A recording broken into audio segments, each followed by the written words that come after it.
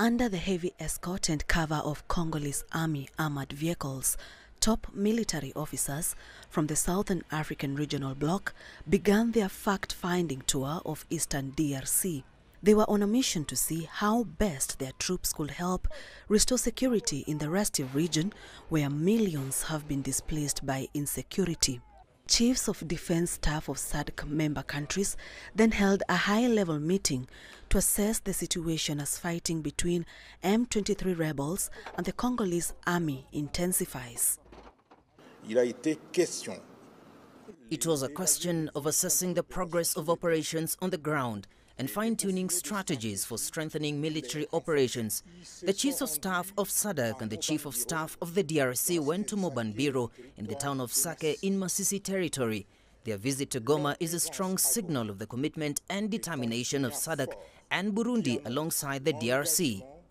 et la détermination de la SADC The 16-member SADC regional bloc approved the Eastern Congo mission in May last year to help the DRC restore security.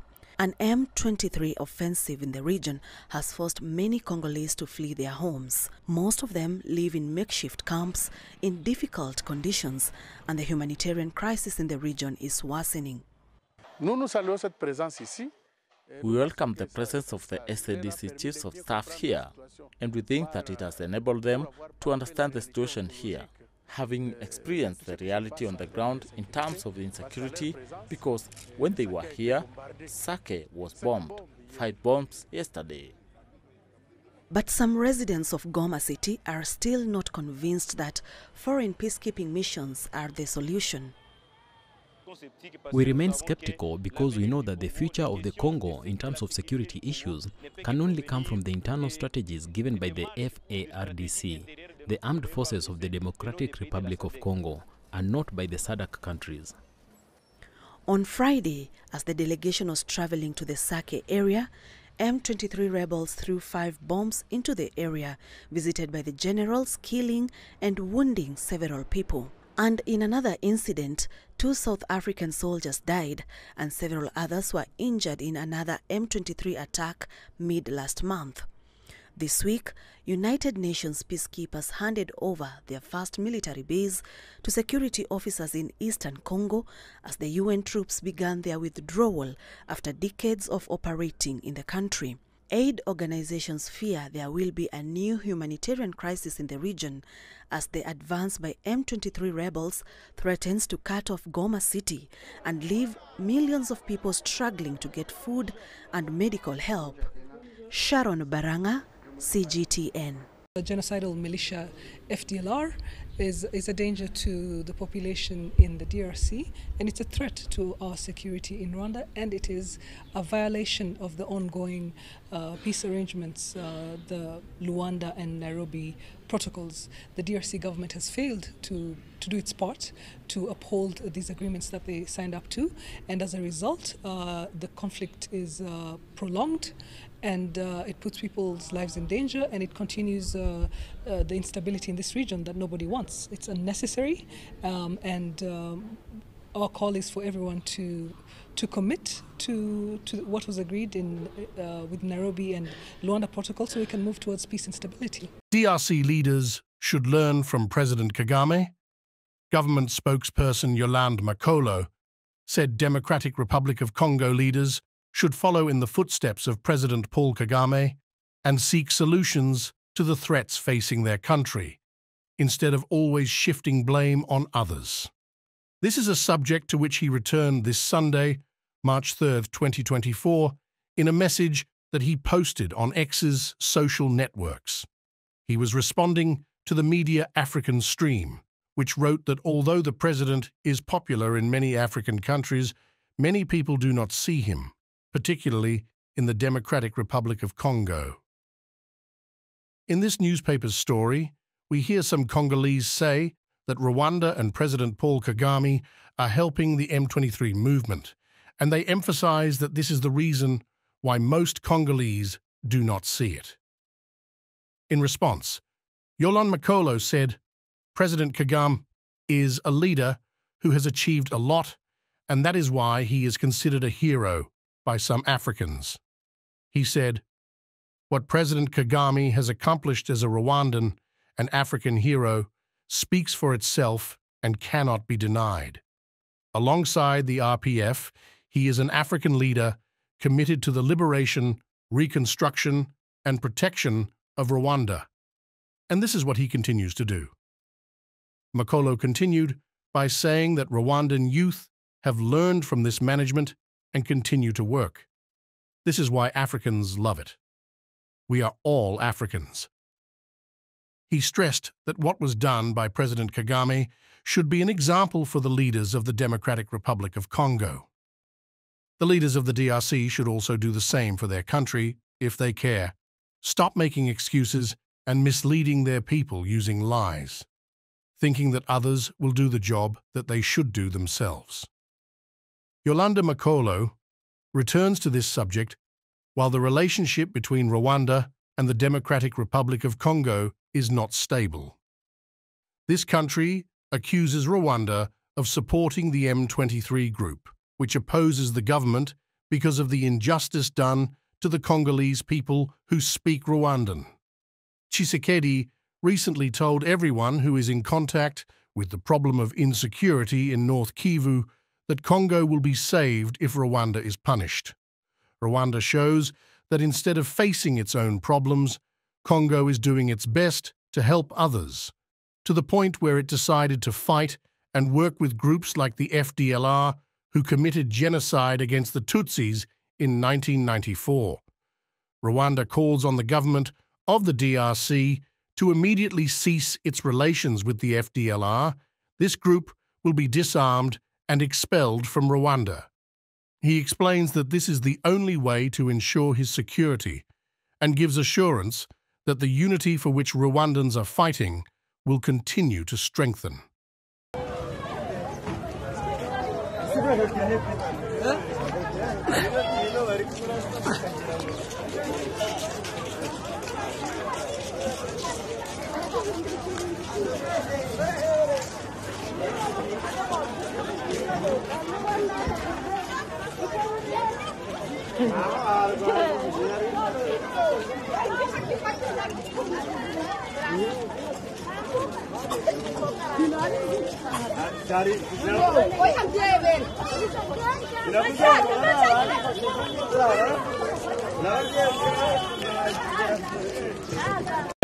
bwana muhire mu by'ukuri eh, abakunzi bacu hari igihe baba babonye hoste muhire minisita ko hoste na mukasi ko hoste bakaba banatwitezeho kuba twavunagura muri makeya amakuru yaranze icyumweru cyane cyane ko turi ku cyumweru ubwo rero duhere ku wa mbere kugeza kuri iki cyumweru tariki ya gatatu eh, werurwe umwaka w'ibihumbi makumyabiri na makumyabiri na kane bigaragara ko hatambutse amakuru menshi muri kariya karere. Hari inama y'ibihugu bitanu ndavuga ngo ni abagabo b'ingabo bita ba cdf b'ibihugu bitanu eh, ba sadeke birumvikana baje gukora bakoreye inama hara muri ki muri goma kuza nyine kureba uburyo batsinsimura. Noneho bakaba basunika ayo makumyabiri na gatatu ariko ndagira ngo muhire ndagira ngo tuze kubikomozaho n'ibyo byose tubabwire ko hari operation ubu ngubu kuri tere nk'ubu ngubu baje abo muri makumyabiri na gatatu icyo bakubwira bakubwira ko amakuru ahari cyane ni operation ziri gukorwa gusa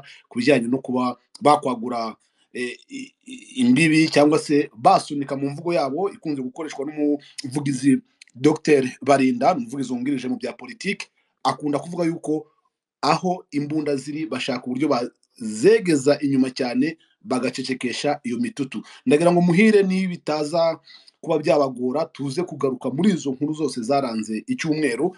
Ntabwo twabura kuvuga ko habonetse na incidence cyangwa se igikuba mu ngabo za afurika y'epfo aho eh, bitewe no kwijujuta no kutishimira misiyo bajemo babirinduye imitutu bararasana bayerekezanyaho.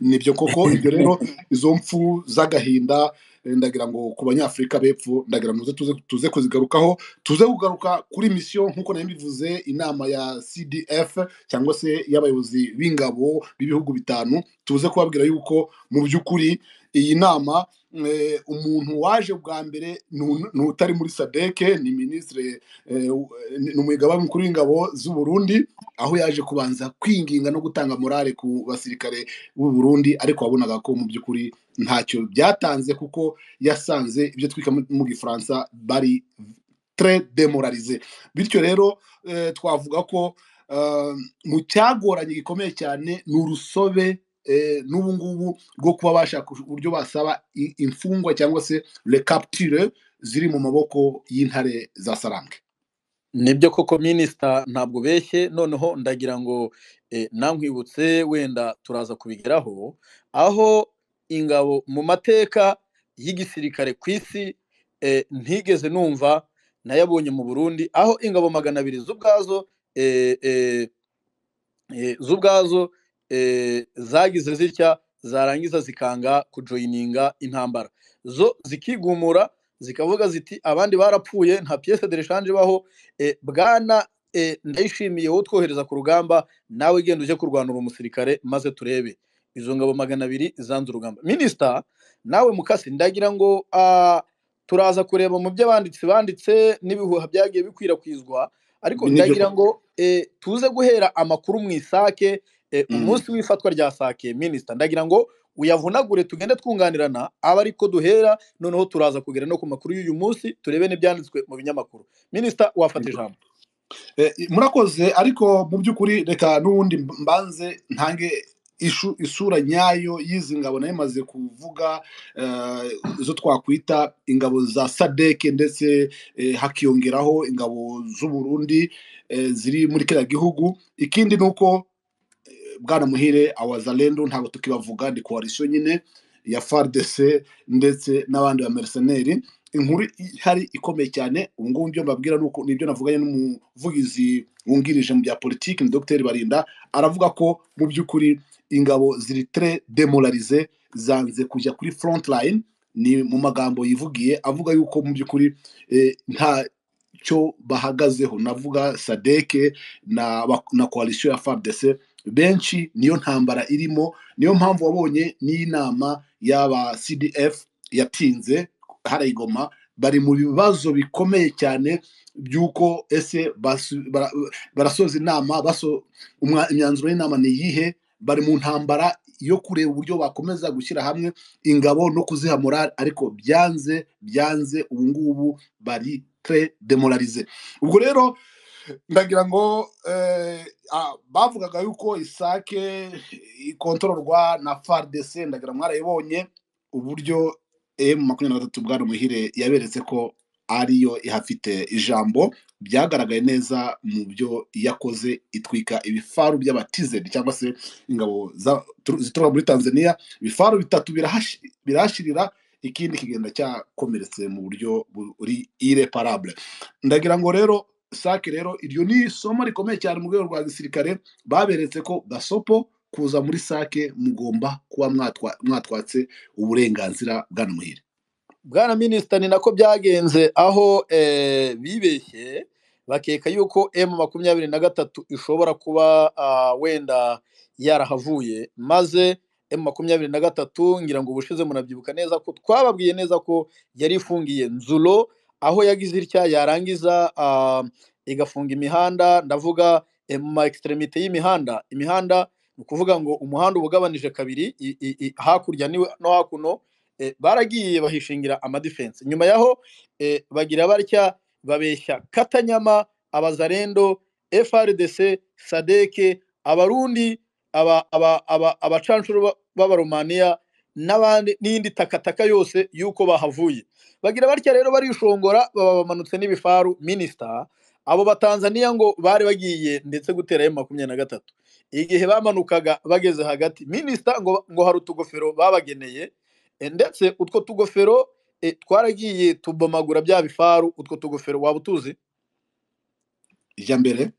Utwo tugofero ni amakompora bagiye kwakirwa bakirwa n'urufaya rw'amakompora nuko bagusenyera ibifaru bibiri icya gatatu kirakomereka ndetse ku bantu bazi kugenzura neza kimwe muri ibyo bifaru byakomeretse ubu ngubu ndagira nkubwire ko bamaze kubikoramo imbabura mu birere abantu bari kubyokerezaho inyama bwana minisita ntabwo byarekeye aho rero ku munsi wakurikiyeho izo ngabo nababwiraga cyangwa se abayobozi b'ingabo mu bihugu bitanu abo twita cdf ibihugu bitanu baravuze ati noneho reka tugere ahitwa za mubambiro mu bintu Ek- eh, ekenge atavuze ni uko babacyanyeho umuriro bakagenda biruka bwana muhire ekenge mvuga ni generale umuvugizi za FARDC.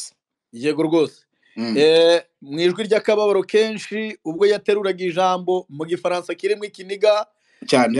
yagize- atya ati le terroriste di m23 Mm. byaba ari byi- byaba ari byiza ko nishyiraho cyangwa ntacyo Nta- reka turivuge nta kibazo rwose. Eh, yateruye ijambo avuga yuko ngo bari bagiye mu ibambiro. Bageze mu ibambiro eh, ngo bavuye i Goma ngo bagiye gusura ngira ngo warebye iki gurupe bwana minisita Ya, cy'abantu mu mvugo yakoresheje yakoresha imvugo iri- yiporoteja avuga ngo eh, le terroriste de M23 bagerageje kuburizamo uruzinduko rw'aba- rw'abakuru b'ingabo ariko ntiyakomoza neza ko babacanyeho umuriro bakiruka minisita nkubwire yuko eh, si ukubacanaho umuriro gusa ahubwo ndetse amakuru atariho ivumbi namfite kandi yizewe ni uko burya ngo hakomeretsemo abajenerali batatu ndetse wa wundi w'i Burundi burya yagize atya arakomereka. Eh, ku buryo ki bwana minisita yanahise eh, asubizwa i Burundi ikitaraganya kugira ngo arebe niba yabonerwa umuti. Eh, wihuse avuga yuko byaba byiza ko atizeye neza ko arwariye igoma batamushimuta. Ni kubw'iyo mpamvu rero minisita ni nawe muntu wari uri guforusa intambara ariko intare za sarambwe zagize zitya nyuma yo kubamishaho urufaya rw'amasasu ziba zirashemo abajenerali batatu uwo nabashije kumenya neza ku makuru yizewe ndetse ku mafoto mfite ntari busheyaringe kereka ku nkoramutima zanjye eh, nizo nshobora kuyahereza eh, nuko eh, ngewe mfite amafoto yari yageze bwana minisita mu bitaro. Byagaragaye yuko yakomeretse ndetse nta handi yakomerekeye kereka hariya. Kuko nta rundi rugamba tuzi si ibuye yagiye ngo asitareho eh, yakomerekeye hariya igihe babamishagaho uru- urufaya rw'amasasu. Minisita ndongera nkwibutsa kandi yuko uyu mujenerali eh, yaraje akimara kugera muri goma eh, yagize atya aza bucece bwihishwa ajya muri hoteli ihenze cyane y'inyenyeri eshanu ariko ngo mu mutekano mwinshi yari yizeye kumbe ijisho rya makumyabiri na gatatu ngo ryari rimuriho ku rwego uyu mugabo yagiye gutungurwa ngo akabona telefone ye irasonnye ngo ikamubwira iti twebwe turaba muri makumyabiri na gatatu ese wamenye neza ko twamenye ko waraye muri iyi hoteli? Amakuru avuga aba- y'abasesenguzi harimo gutebya bavuga yuko mu by'ukuri izi ngabo za za CDF cyangwa se abagaba b'ingabo b'ibihugu bitanu burya ngo mu mujyi wa Goma wose banirwaga n'abasore bo muri makumyabiri na gatatu mu buryo butazwi. Ni ukuvuga yuko icyo gihe ngo insoresore zari zimurindiye umutekano ngo yazibajije uwatanze amakuru ngo zo ubwazo zavuze yuko emu makumyabiri na gatatu buri hantu hose ukandagije ikirenge ngo baba bari kukureba ko nta watanze amakuru. Byasi- byashize bwana muhire tukiri kuri iyo nkuru byashize umuvugizi cyangwa se umuyobozi ushinzwe ubutasi muri cyangwa G2 mu ngabo z'i Burundi guhamagazwa kuza gusobanura gutanga ubusobanuro. Ni byo koko eh, yahamagajwe ubwo yahamagazwa kwa perezida yabajijwe ibibazo bigera muri bitatu. Yaravuze ati uraza kudusobanurira ukuntu bashobora kumenya neza umugaba mukuru w'ingabo uburyo yageze muri goma na hoteli yarayemo. Icya kabiri uraza kutubwira isano ufitanye na f makumyabiri na gatatu. Icya gatatu bwana minisita ngo yabajijwe yabajijwe isano afitanye n'abatutsi. Karabaye. Minisita ntabwo ikiri intambara tureba ahubwo eh, ndayishimiye we yayigize intambara y'ubwoko bwana minisita. Ubwo ntabwo twamenye ibisobanuro yatanze kuri icyo kibazo cy'isano ngo afitanye n'abatutsi. Eh, icyo tuzi cyo ni uko eh, minisita ibyo bintu yabibajijwe niko byagenze minisita. Nibyo koko amarira aracyari yose ku mpande zose. Ndavuga ku ba mercenaire kuri coalition ya, FARDC n'abazalendu ndavuga kuri ibihugu bitanu bya SADC biri muri kara karere. Eh, ni ibihugu bine hakiyongeraho igihugu cya gatanu cy'u Burundi cyo twakwita na cyo kari abamercenaire kuko nta muryango baje guhagararira muri kiriya gihugu urebye ko baje nk'abacanshuro nabo bwana muhire. Urakoze cyane. Eh, minisita hari ikindi kintu cyabaye mutaje kumenya? Ah, ni ikintu ah, minisita navuga yuko eh, cyaje gutera abantu eh, ibintu umusukusuku ni uko bagize batya minisita mu minsi yashize mu minsi yashize igihe za drone eh, burya zasenyerwaga ku kibuga cy'indege bo ubwabo bazirasiye minisita bagize batya ntabwo guhera uwo munsi njike kayiko ngo yigeze asinzira minisita ibyo na byo warabimenye?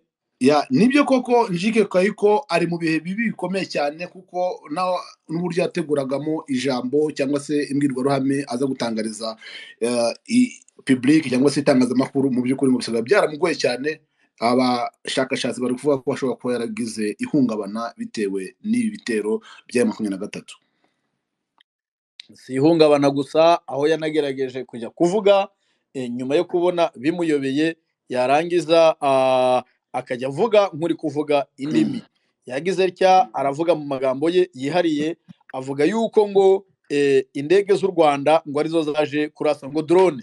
Ngo drone z'u rwanda eh, ari zo zaje kurasa ari zo zaje kurasa ngo ziriya ndege zabo ku kibuga cy'indege. Ariko minisita wibuke yuko twebwe twiboneye abazarendo eh, abazarendo bo ubwabo eh, bivugira yuko ngo ari bo barashe biriya bisasu ndetse ko amasasu ngo yahubutse nyuma yaho yari akurikiwe na wa musirikare warashe rpg muri stade de l'unité igoma yarangiza nawe akavuga yuko yamucitse. Minisita icyo kintu cyo ukibona ute Ah, narindi mu bijyanye na tekinike mu by'ukuri kugira ngo turebe no gushaka andi makuru ari kuri murandasi. Mu by'ukuri iki cyo nk'uko nabikubwiye umuvugizi w'ingabo za FARDC mu karere ka Nord Kivu uwo bita Njike Kayiko Guillaume asigaye afite ibinyoma bikomeye cyane aho mu by'ukuri usibye n'abandi bose ntawe ukimuhereza umwanya cyangwa se ngo abe yatinda ku byo ya- yatangaje.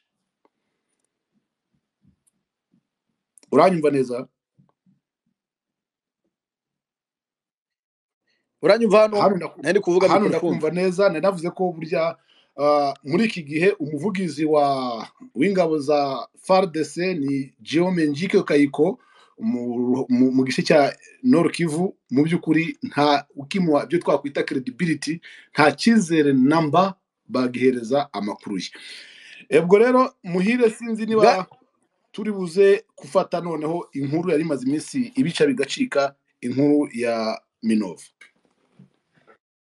Minisita tutarasimbukira kuri iyo nkuru ya minova. Ni indi nkuru ibica bigacika aho umudamu muto cyangwa se umwana w'umukobwa w'umunyamurenge yagize atya akababwira ngo nta gihe cyo guseka yiyemeje kwambara ipantaro ari bwo bwa mbere nuko ajoyininga twirwaneho. Niyo warayimenye? Iyo kabisa narayibonye kandi yakwirakwiye no ku mbuga nkoranyambaga aho avuga ko abasaza bacu yatanze impanuro nyinshi cyane aho agaragaza ko akangurira aba- abandi bakobwa mu mbabarire akangurira abandi bakobwa cyangwa se bagenzi be kujoyininga twirwaneho e makumyabiri na gatatu kuko ntago bazajoyininga ba ari imirambo cyangwa se baratakaje ubuzima. Aho ngo utabare uwapfuye byaba byiza ugiye gutabara ukiri mu mwuka bwana muhire niko navuga muri konklusiyo y'ubutumwa bw'uriya mwana w'umukobwa cyangwa se bw'uriya mwari yatambukije ku mbuga zitandukanye abantu bose bahuriraho.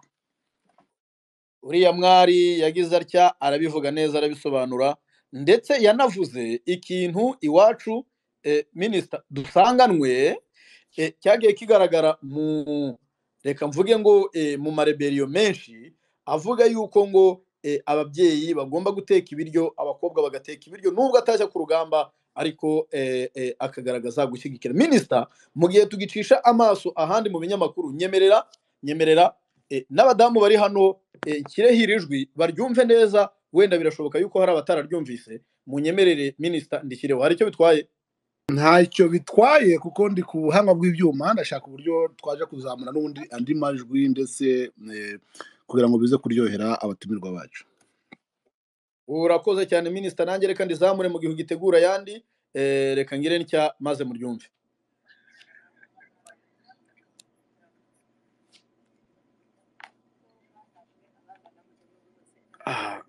Nkeka yuko hano ari gukoresha ijwi ritoya kandi volume yanjye yashizemo.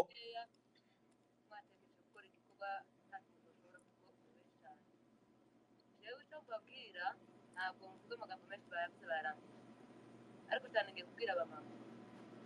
Abamama nimwe mugomba kuba hafi y'abana banyu b'abahungu n'abakobwa. Aba bose mwasize abo mwasize hano nimwe mwari mugomba kubacumbira wa munsi. Ariko kuko mwagiye bamwe niyenda baguye umwuma bagwa umusozi abakobwa. Ntimuruzi ko nambaye ipantaro? Ntabwo nageze nambara ipantaro. Ntabwo nigeze kwambara butsi n'ikirato gifunze ubusanzwe ntacyo nambaraga. Nambaraga imyenda y'abakobwa ariko kuko nagize ishari ngira agahinda k'abasaza baje baba cyatumye nambara mugomba kubabara mukagira agahinda. Mwebwe ntabasaza banyu bapfuye hano. Twe barapfuye benshi bituma nica gahunda nari ifite ndavuga ngo ngomba kubabarana n'abandi. Kuja ku rugamba si ukujana imbunda. Ubu nyine abadamu nibo bariko bikorera ibikoyo kuko nta bahungu barafite. Kandi sinzi nimba abakobwa muzokora abahungu barafise basaza banyu nibamara gushira sinzi ko mushobora kurwana urugamba. Nimuhaguruke dufatikanye tuje ku rugamba. Urugamba uzajana ibiryo uzajana ikintu icyo ari cyo cyose jewe nzajana imiti nawe ukajana ibiryo undi akajana imbunda tugafatikanya tugakomera jewe sinoseka cyangwa igitenge muri mu guseka ntabwo nezerewe muri kino gihe napfushije abantu bata- batagomba gutuma nosekera abandi mubikubita igitenge mukagisubizamo ntimuri ababari ariko uwababaye ntaza aseka ufite agahinda ntaza aseka sinzi ukuntu mwava muri iki gihugu mwataha mugakubita benshi mubikwere mubabare mugire agahinda mugire akantu ku mutima kabatera ishari nta muhungu ufite amaguru atatu hano twese ni abiri. Tugomba kujana. Nta wansize muri huru kandi ko murabona kuko abahungu batutera ariko ndi bonsi kuko ufite ikintu kindi ku mutima mwumva bwana minisita ah, ngira ngo eh, ubutumwa yashakaga gutambutsa buri wese arabwumvise. N'utumvise ugazumva ashaje nta kundi eh, nta kindi namukorera eh, kubera ko kugeza uyu munsi eh, navuga yuko eh, yashishikarizaga anasansibiriza eh, abana b'abakobwa kujoyininga twirwaneho avuga atya ati ni ukuri eh, ntabwo nambaraga ipantaro ariko uyu munsi narayambaye. Ntabwo umusore afite amaguru atatu afite abiri kandi nanjye niyo mfite aragenda nkagenda ntabwo bajya bansiga. Yagize atya aranavuga ati minisita ikintu gikomeye ni uko yongeye kwibutsa ababyeyi b'abanyamurenge n'abana b'abakobwa eh, ababwira yuko icyo gitwenge bari guseka we ntashobora kugiseka ngo gisubizeyo ahubwo avuga yuko neza cyane ko iyo umuntu ababaye atagomba guseka. Biragaragara ko abantu bakomeje kumva eh, uko uyu mu- mukobwa yabyumvise eh, nizere ko protection y'imiryango y'abanyamurenge yaboneka. Minisita reka twongere dusimbuke ku misozi eh, ya buragiza. Eh, hariya ubwo noneho ninjiye kuri updates zigezweho ari na zo zizwi eh, umusozi wa buragiza na ha musozi minisita witwa ngo iki ukunda kunyibagira. Hobe nyibutsa wa musozi. Umusozi wa buragiza uriya ure- ureba intumbi ubweramana Ah, ah, pana bweramana hejuru. Okay dukomeze ndawibuka. Nuriya musozi eh, ni umusozi uri strategique aho barasiye abarundi bamara kuhabarasira ubwo bari bamaze gupanga urugamba eh, nyuma eh, ni umusozi wa nyenyeri oh nawibutse nyenyeri? Okay. Yes ni umusozi wa nyenyeri ukunda kunyabagira cyane kimwe na kimwe na, shasha bikunda kumponyuka ariko bagize batya bagira batya baradvasinga badvasinga n'intare. Mbibutse yuko kugeza uyu munsi intare ziracyari muri ceasefire. Ziracyari muri ceasefire ntabwo ziradvasinga ngo zi, ngo zigende zifate uko biteganywa uko biteganyijwe. Oya. Ziracyari muri ceasefire zigomba kubikora kuko ziracyubahiriza eh, amasezerano y'u Rwanda mu gihe FRDC y'ubwayo eh, ikirwana no kugira ngo irebe niba yabatsimbura mu birindiro yafashe. Eh, bagize batya rero baza kuri uwo musozi batangira kubataka buragiza batangira kubataka nyenyeri. Nyuma yo kubataka nyenyeri eh, bwana minisita intare za sarambwe eh, zabakubise igico. Ariko zabakubise igico aho eh, eh, bari bakoze inama nyuma yo gukora inama bayikorera minova kwa she mu nganda yitwa ngo ni she malembe eh, muri she malembe nyuma yo kuyikora fdrr zari zavuye i kanombe ubwo abatazi kanombe eh, ni muri sud kivu eh, fdrr zari zavuye i kanombe zigeze aho ziragira zitya ziraza zirara kwa she malembe she malembe nda- nibuka niba mbyibuka neza ah, nyuma eh, yo kuza kuharara bakoze inama simusiga.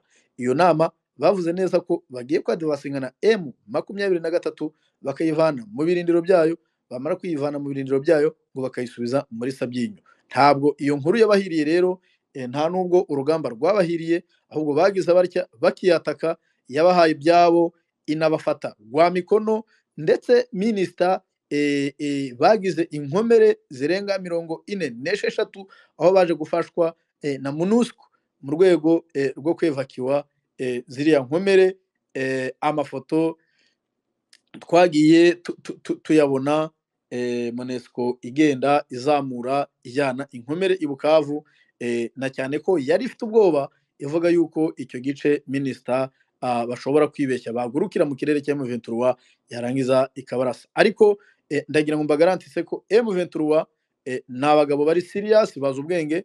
Bwana monesco niba munatwumva niba muzanatwumva igihe kizaza ntago eh, M makumyabiri na gatatu muri mu bihanganye nabo. Bona nubwo mwivanga mu rugamba ariko mwebwe eh, muracyafite ikibarinda new protection yanyu.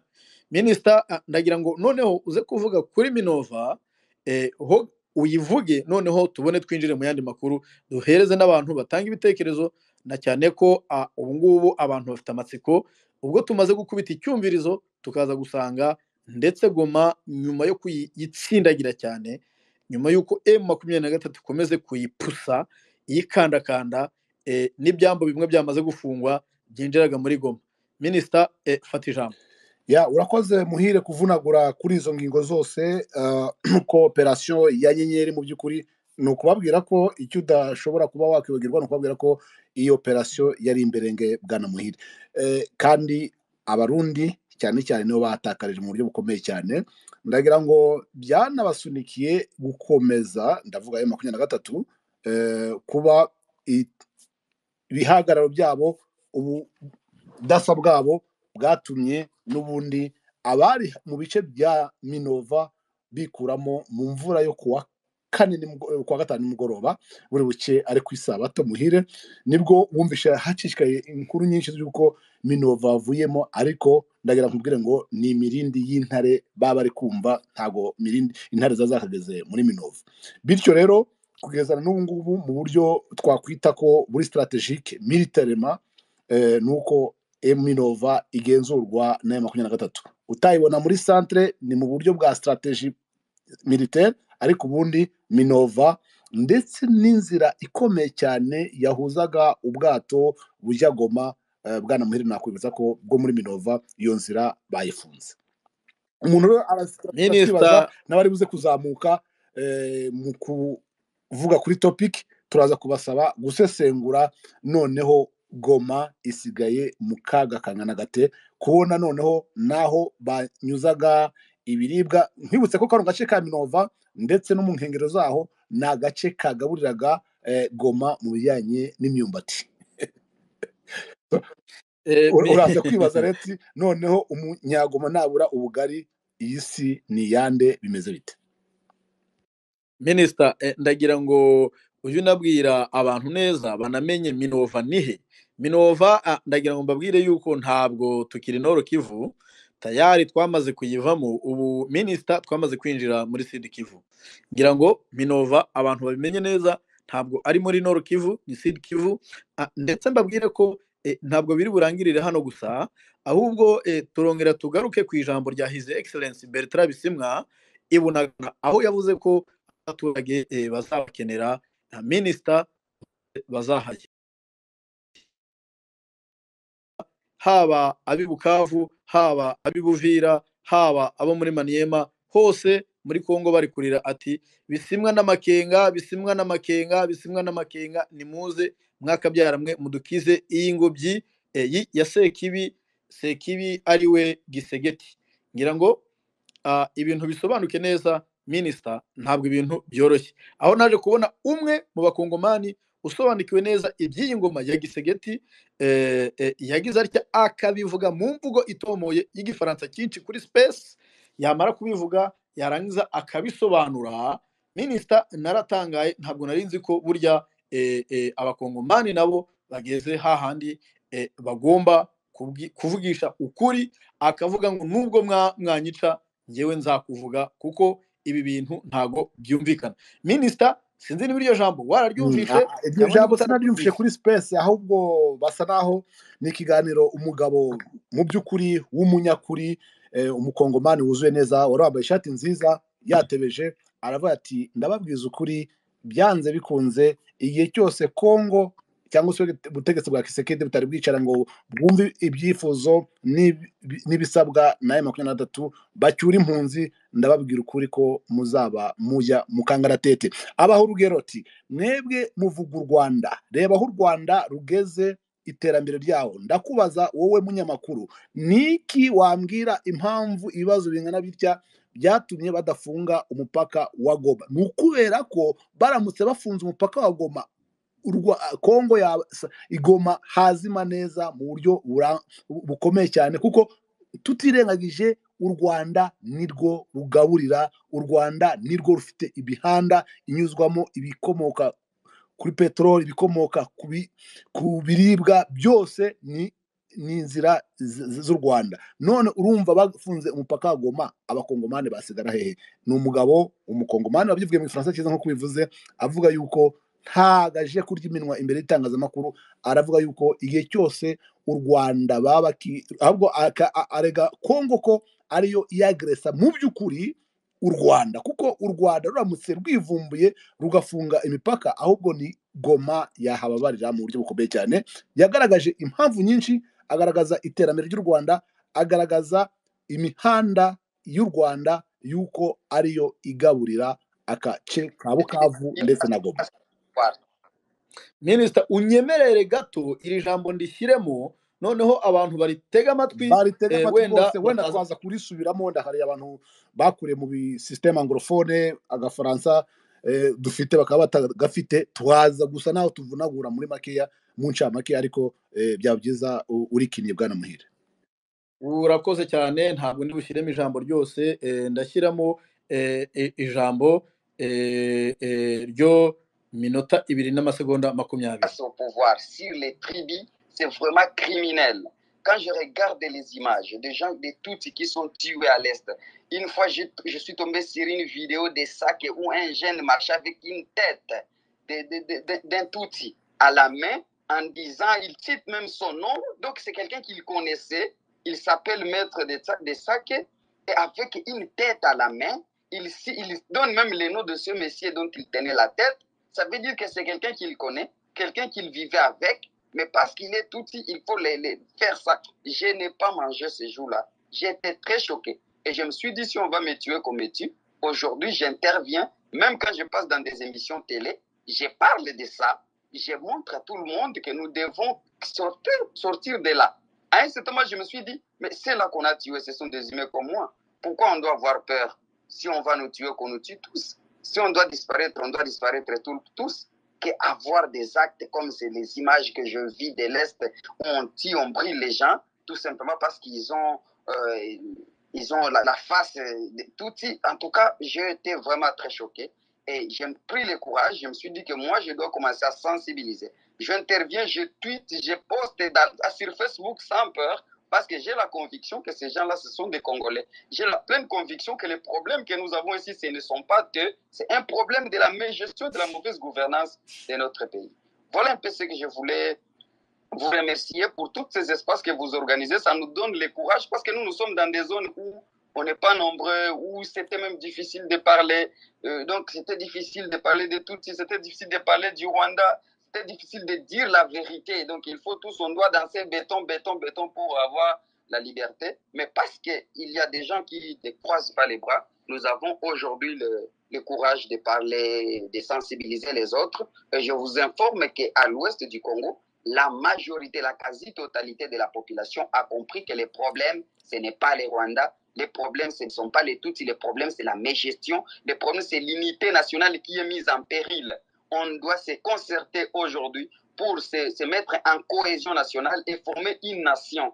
Aujourd'hui, nous ne sommes pas au pouvoir. ok reka tukarekera aha hari akandi gace mfite ntabwo mbifite bifatanyije bigaragara ko iryo ni ijambo ryo kuri sipesi ryo kuri sipesi ni undi mugabo watangaga ubutumwa bwe nyine imbere y'itangazamakuru n'uyu nguyu ariko ibyo avuga birumvikana kandi yahereye kuri rugero rw'isake aho umuntu avuga ngo ni abaturanyi umuntu akiyita metere umuntu ko ari umwicanyi ibi metere iyi metero iza bafite mu bwicanyi ni iyihe? Umuntu bakamwita metere disake metere disake kabisa ngo kubera ko yaciye umutwe w'umututsi. Minisita birababaje kuko uyu mugabo ageze n'igihe avuga ngo abantu birirwa babyina ngo beto beto beto. Beto ariko na eh ni beto beto bwoko ki birababaje kubona umuntu yica undi abatutsi bagapfa bakabatwika mu mapine bamara kubatwika mu mapine leta ya kongo ntigire ikibikoraho minisita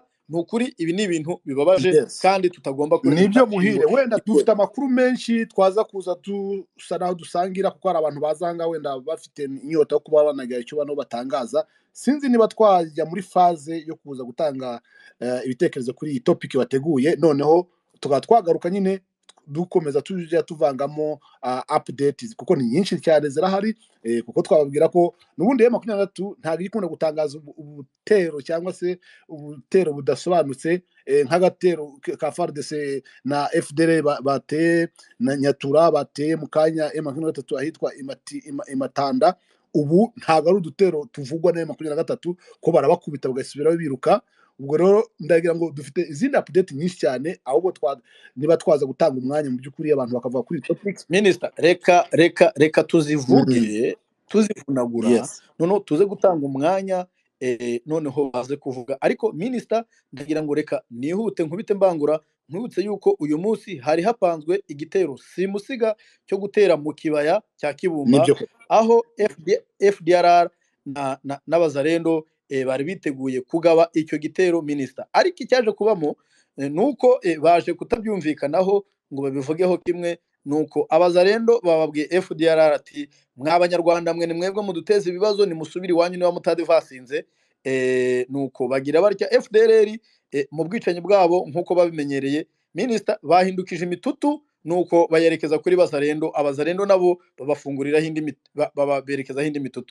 Minisita ndagira nkubwire ko amakuru nyawe nabonye kandi afatika ya bamwe mu bari bari gutunda ku nkomere zasubiranyemo ni uko minisita hapfuye fdrr nyinshi hapfa abazarendo benshi ku rwego na leta yatinye kujya gukemura ayo makimbirane irabareka bararwana mpaka bafunze sefu ku bantu muri make bumvishe amasasu mu kibaya cya kibumba ntabwo ari twebwe twarwanaga ahubwo ni fdrr yari yasubiranyemo n'abazarendo kandi bakoresheje imbunda z'imizinga nk'uko ubizi leta ya kinshasa yagiye ihereza fdrr za mbunda nyine zikomeye nuko banze kwa divasinga bose bagize ubwoba hanyuma bo ubwabo basubirana. Ni cya kintu nababwiye nyine kandi byavuzwe n'umuvugizi rwose wa makumyabiri na gatatu yuko morale ya ziriya ngabo ziri tere demoralize ubu ngubu bari gusigana ati mwebwe mujye kuri front line namwe mujye imbere n'abandi bajya imbere bagasigana noneho bikabaviramo kugira umujinya bakabirinduka bakarasana hagati ubwabo. Ari na byo nyine ni seneriyo yabaye ejo bakayita incidence yo mu ngabo za afurika y'epfo aho barasanye rwose babiri bakasiga ubuzima ubu ngubu bakaba bari gutegurwa gucyurwa muri afurika y'epfo ari imirambo bwana muhire. Nibyo koko tutiyibagije ariko muhire tukiri kuri apudeti inzira bafunze emu makumyabiri na gatatu yafunze yahuzaga amazi ya sidi kivu inyura ku cyambu cya nzuro ubu tayari bavuga ko mu maboko ya makumyabiri na gatatu urumva ndagira ngo ni ahantu tugomba kugaruka n'ubundi tukayatinda kubona eh, byaba biganisha he noneho cyangwa se iyi nsinzi twayakira dute? Yewe makumyabiri na gatatu aho yagezeho gufunga kino cyambu cyangwa cyahuzaga goma na sud kivu. Minisita ntabwo ari icyambu gusa cyahuzaga goma na sud Mm. kivu ahubwo cyari n'icyambu gituma abanyegoma barya imyumbati. Niyo nzira yonyine barya imyumbati kuko aka gace ni agace gakungahaye n'imyumbati cyane imyumbati. naho eh, bohereza imyumbati bakarya ubugari. Urabizi ko ubugari na sombe ongeraho n'isombe ni agace ubugari n'isombe buriya Eh, ni ibintu bijyana cyane kandi byose biva mu giti kimwe. Ariko reka ako kantu ntugasige bwana muhire kuko gufunga ntabwo kino ndi cyambu bugasige ni ugufungira abazahirwa eh, bari muri goma ubugari n'isombe. Nibyo koko bwana minisita ah, iki cyambu nk'uko ubivuga eh, amakuru atugeraho ni uko gifunze. Ariko ikindi gitangaje ntabwo ariyo mu makumyabiri na gatatu. Bwana minisita burya ngo yagifunze. Reka ntabwo ariyo ngo yagifunze ahubwo abantu ubwoba bwabasaze burabinjira bagira ubwoba. Nyuma yo guhunga urugamba nta sasu ryigeze rivuga bwana minova ni na yo s- situation yabaye muri minova bwana muhire kuko minova e makumyabiri ntigeze yirwaniramo. Minova bumvishe imirindi y'intare ziri mu nkengero y'umusozi wa za minova bavamo biruka kuva ku wa gatanu nijoro. Ndagira nkubwira ko ni ya mirabyo y'inkuba bumvishe inkuba ariho abakongomani batangiye gutabaza ngo ba, bajama barishayingiya ariko tubibwitse ko yari imirabyo y'inkuba iyi mvura riri kugwa mu buryo busanzwe ahagana amasaha yine za nijoro ku wa gatanu bityo eh, byageze mu gitondo ku isabato aduyi eh, mu mvugo zi- z'igisirikare yamaze kuva muri eh, minova isa naho iri aho ngaho icungerewe n'ikirere gusa ariko ntaho ntiwavuga ko e makumyabiri yigeze isohora urusasu rwayo ahubwo bumva imirindi y'intare bagahita amaguru bayabangira ingata bwana muhire ni byo koko bwana minisita nongere nkwibutse yuko kugeza uyu munsi ah, iriya mihanda eh, nongere nibutse abantu haba umuhanda wa rucuro haba umuhanda wa sake eh, haba umuhanda wa, sake minova eh, haba umuhanda wa kirorirwe nta muhanda n'uyu n'umwe m makumyabiri na gatatu. Yigeze ifunga ahubwo abaturage bo ubwabo babonye bitazavamo bitewe n'uko baragendaga bajya guhaha hanyuma leta yarazaga ikabaca minisita imisoro iruta uko bahashye bityo baza kubona bari guhomba. Ngira ngo urabyibuka neza ngarutse kuri iki cyambu cya nzuro kuvuga ni minova nzuro ni ho bambukiraga. Uribuka eh, mu minsi ishize igihe umugabo nyirimakara yari yazanye eh, umufuka yawugurishaga amadolari ijana na mirongo itandatu. Uyu mufuka yawugurishije amadolari ijana na mirongo itandatu aho na leta y'ubwayo yakomezaga kugenda imusaba eh, ndetse inamu inamumenasa ivuga yuko uyu mugabo eh, agomba gutanga imisoro ku rwego ruhanitse kandi ko eh, bitabaye ibyo n'ayo makara atari buyacyure ni nabwo minisita waje kubona ijwi ry'umwana wari mu bufaransa atakambira gisegeti amubwira ati abaturage barapfuye barapfuye rwose nagire arebe ukuntu yakoroshya iminyururu hanyuma bakarya. Ariko eh, minisita ndagira ngo nkubwire ko eh, kugeza ubu ngubu ntabwo gisegeti ari muri muri pozishoni nziza yo kumva imiburo ariko bibiliya yaravuze ngo amatwi arimo urupfu minisita ngo ntabwo yumva imiburo. Ndumva ni cyo navugaho kuri minova ni randevu ikavumu Mm, ku mm, kibuga cy'indege ndetse vuba aha ngaha turaba twahatashye minisita wakomeza Eh, ni byo koko uh, wari uvuze ko urebye mu busesenguzi cyangwa mu mboni yawe eh, basa naho basatira ikibuga cya kavumu. Kandi twibutse ko kino kibuga ni cyo giseriva cyane mu buryo bwa logisitike so gufata kino kibuga cya kavumu rero baba basa naho mu by'ukuri bagize protection ihagije mu buryo bwo kwirengera ni byo numva nakongera ku kibazo cyangwa se ku bijyanye no kuba e makumyabiri na gatatu yaba isatira kavumu iki kibuga cya kavumu murabizi ko in- indege nyinshi ni ho zigwa noneho bagasapurayinga ibyavuye hirya no hino baturutse muri eh, kavumu.